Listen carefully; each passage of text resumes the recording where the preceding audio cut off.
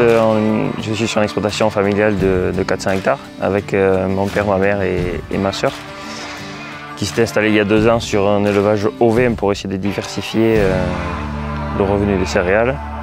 Donc il y a 320 hectares de maïs et après on est sur une culture de métail, c'était un mélange de céréales et de protéagineux pour l'alimentation des, des, ovins et après sur des prairies temporaires. Alors pour le matériel John Deere, au niveau de l'exploitation, il y a 5 tracteurs, il y a un automoteur, une batteuse et le semoir. Euh, on s'est lancé dans l'agriculture de précision en 2007. Dans la famille, sur l'agriculture de précision, on était tous d'accord euh, puisque ça nous permet de, travailler plus vite, de faire des économies et, d'avoir un confort de travail autre.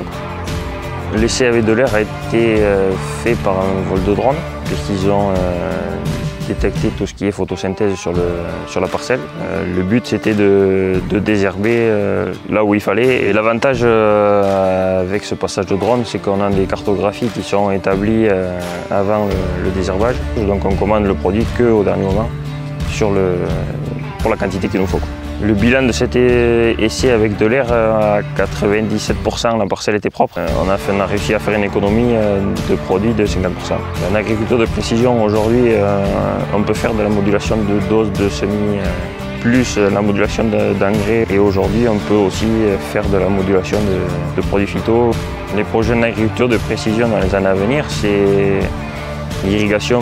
Et après, le but, c'est euh, de faire des cartographies de sol pour, euh, pour mettre la bonne dose de semences au bon endroit sur la parcelle et la bonne dose d'engrais. Euh. Le centre des opérations My John Deere il nous permet déjà de récupérer toute notre cartographie de données. Après, on synthétise tous nos passages de guidage qu'on a pour avoir les mêmes dans chaque tracteur et dans chaque matériel connecté. C'est un usage quotidien centre des opérations, puisque on a, bien, entre l'ordinateur et le téléphone, ça nous permet de, noter des choses qu'on a, qu'on voit sur les parcelles et de le localiser. L'agriculture précision aujourd'hui, oui, on est satisfait au vu du respect de la nature et après, d'un point de vue économique par rapport à l'exploitation.